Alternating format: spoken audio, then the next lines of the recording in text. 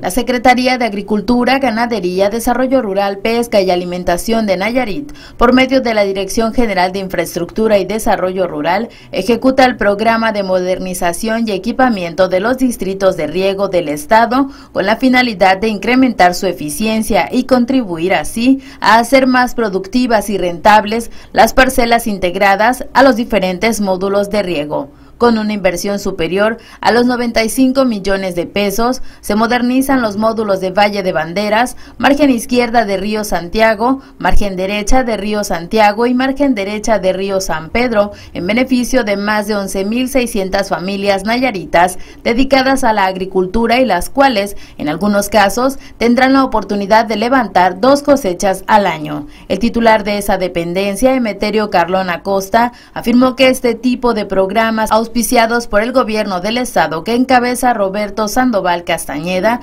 detonan la autonomía regional de los municipios, pues les dan mayor valor agregado a las tierras de cultivo e invitó a los productores a seguir trabajando en la modernización y tecnificación del campo. Dijo que las actividades conjuntas con la dependencia a su cargo y el gobierno del estado permitirán una mayor productividad para los productores del campo. Para nuestra visión noticias, informó Adriana Gómez.